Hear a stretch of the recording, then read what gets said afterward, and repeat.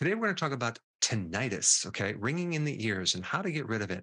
This is an updated video. And I will say that tinnitus can literally drive someone crazy. If you had some history of auditory damage somewhere in your brain, later in life, it can come to haunt you. Now, tinnitus is something a little mysterious. They don't have it fully figured out.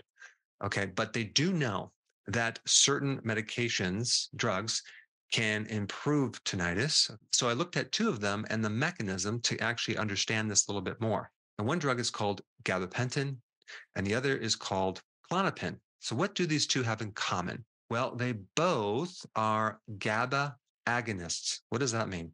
It means that they have a mechanism to increase GABA in the brain. And so let's take a look at this GABA, like exactly what it is. It's an inhibitory neurotransmitter.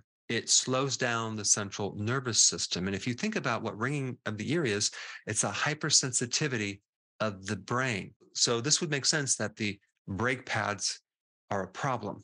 And by putting more brake pads or inhibitory factors into the brain, it would help something that's hypersensitive. And they've also done some interesting studies. I'm going to put the links down below of people having tinnitus and having a lowered amount of GABA, as well as an upregulation of another transmitter called glutamate that stimulates the brain. And so when you are missing the brake pads in a car and you only have an accelerator, you're going to have problems. And that's what tinnitus is. And so tinnitus is kind of like an overcompensation with a problem in the auditory part of your brain. And so this overcompensation is basically making this hissing sound. So based on that, you probably are thinking, well, I just need to increase GABA. And maybe you don't like the side effects from the medications that do that. So you might then typically go to a GABA supplement, which is natural, which has virtually no side effects. But the problem with that is that GABA as a supplement does not cross the blood brain barrier. So it's going to have a hard time penetrating into the brain to create the effect. But we have a solution for that. There's another compound and it's called taurine. Okay. That's an amino acid that turns into GABA and it does pass the blood brain barrier. But just make sure you take it on an empty stomach. Okay. When you take it, because when you eat, you could have some competition from other amino acids. And I don't have a specific brand. You're going to have to do the research on that. Now, in addition to increasing GABA, the other thing you need to do is inhibit the glutamate neurotransmitter that is potentially speeding things up.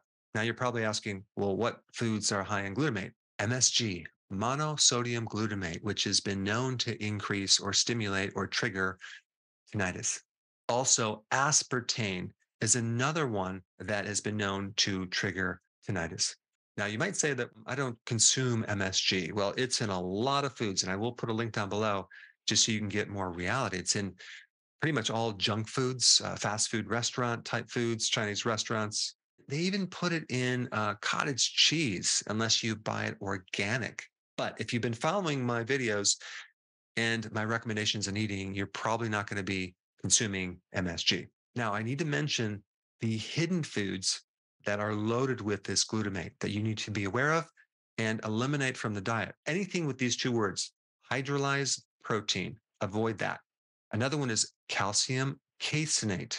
Another one to avoid is yeast extract or autolyzed yeast.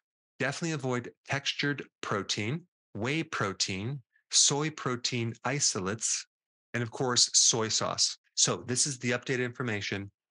I do have another video that's been very, very successful for many people. And if you haven't seen that, I put it up right here. Check it out.